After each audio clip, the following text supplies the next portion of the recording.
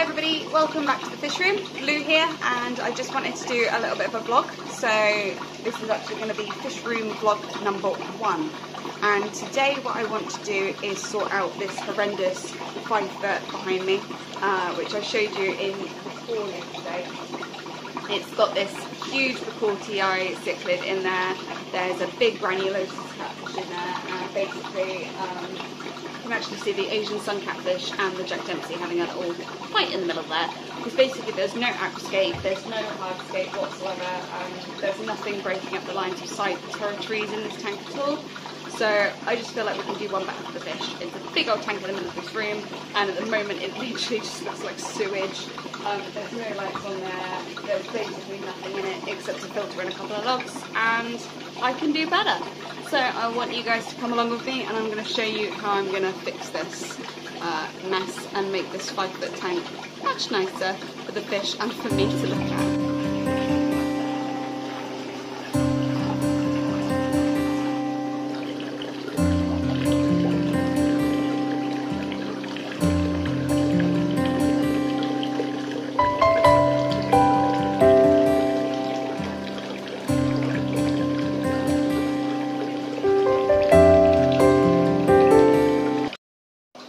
Done some water changes on these six tanks here and then the, these four tanks here.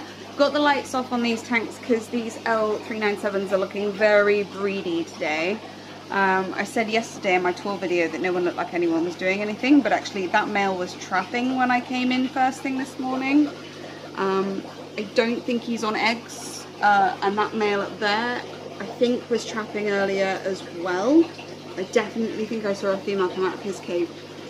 It's at a bit of a dodgy angle, so I can't really see into that one. I know he definitely doesn't have eggs. But I've left the lights off because they're not really a big fan of the lights and I don't want to distract them any more than I already have just by coming in here this morning. Um, so yeah, fingers crossed for 397 eggs. Got a big old stack of blue hoses because every single tank has its own hose. Um, and if I dip my hands in the tanks they get sanitized and completely dried in between tanks as well because I take biosecurity really seriously. So I'm back and I've been to the garden centre and got a bag of Highland Pebbles for a tenner um, and then what we need to do is I'm going to catch a couple of fish out here and put them in there. Uh, namely this kissing gourami and the two crudea uh, that are in the back there uh, is hanging. I've got two of them in there and I've got two of them in there as well. Um, and then we need to drain this down, um, stake with the pebbles, and then I'm going to take you foraging for some wood um, and some sticks and things to add some detail. Um, can't put plants with these guys because we're going to tear them up, um, and most of the fake plants I've got are in use at the moment. Might add some fake plants later, but it's not really biotope specific for these. Um, so we're going to make something that's quite natural for a, Um, so yeah, uh, I better get this draining.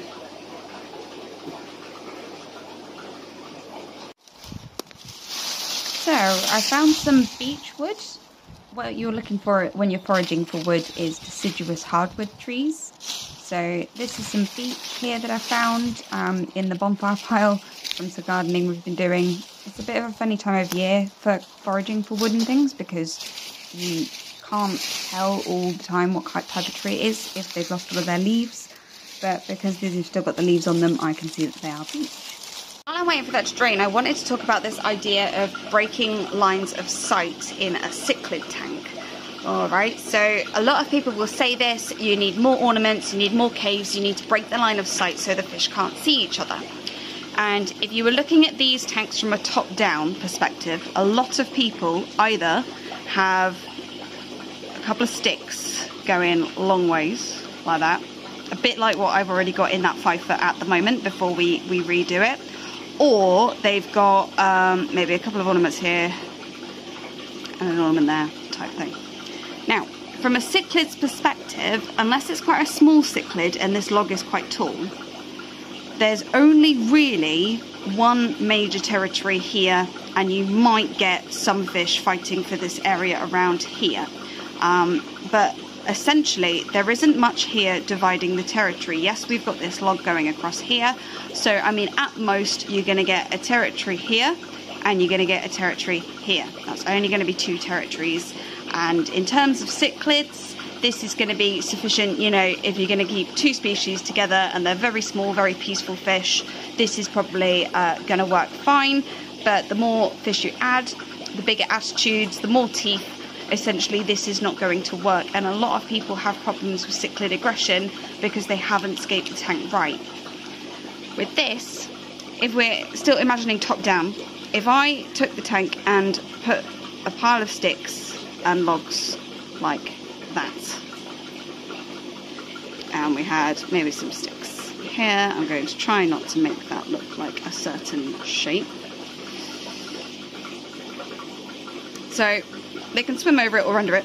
Uh, you can have these however you like. But now we've got three territories. So I've got one, two, three territories. Great. All right. Cool. But if I've got fish that really like that middle bit, that's still going to be a problem. Look, but three is still better than two. You're going to get a lot less aggression with this kind of setup than you will um, if you've just got a parallel line going right the way across or just a row of ornaments going straight the way down the middle of the tank. Um, you've basically got front or back. Here you've got one, two, three. Now, if I wanted to add more, you can then start thinking about your diagonals. And if I do something like that, all right, or that one probably should have been the other way around. But you get the idea. Obviously, the fish can still access these areas, but now all of a sudden, by doing this zigzag shape, um, it's the same as if you're bridge building. Diagonals, stronger, always stronger. So now we've got one, two, three, four, five, six territories here. So these uh, are from the garden centre and they normally come in really quite grubby. Um, so I've got a bucket of hot water here pouring into tap water. Um, and we've got the biggest one in here for a quick swill uh, before we start working it. Okay. Smell when it brings out. Look at nice colours. They're all of reverse the colour when they come out, and then uh, give them a. Come out really nice. So yeah, uh, I'm basically going to start building up uh, two little mountains um, like in that diagram, and then we're going to be doing the diagonals using sticks and branches. Um, we might do it up a fire over on this side just to hide that filter, but um, I'm just going to see how the rocks take you basically.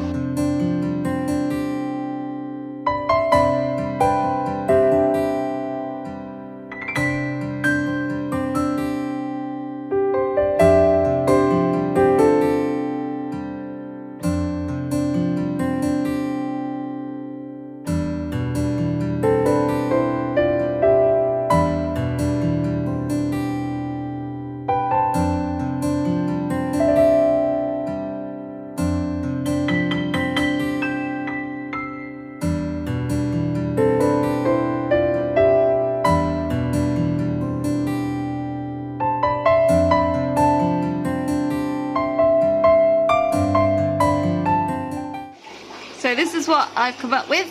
Hopefully in the next video I'll be able to give you an update of what this is looking like once it's clear.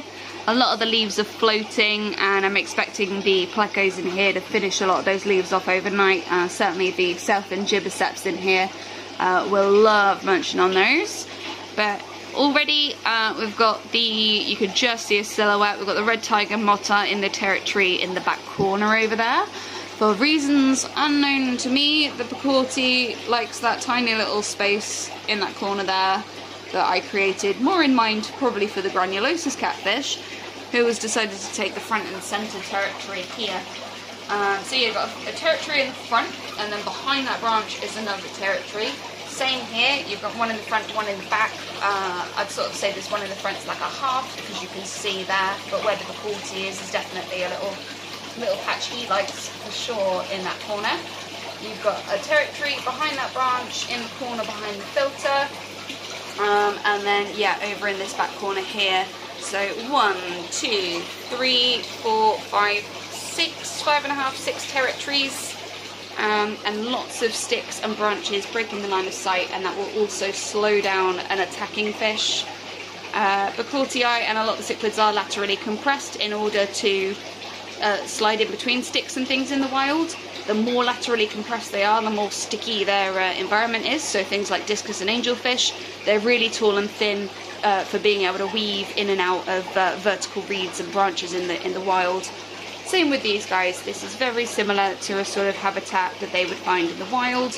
Um, a little habitat underneath a fallen tree or something um, on a sandy, pebbly, uh, rocky riverbed.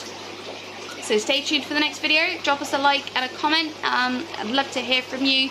Uh, big thank you to everyone who's subscribed so far, uh, who wants to come on this journey with us. Um, and I will see you in the next video, hopefully with some much clearer water. Bye bye.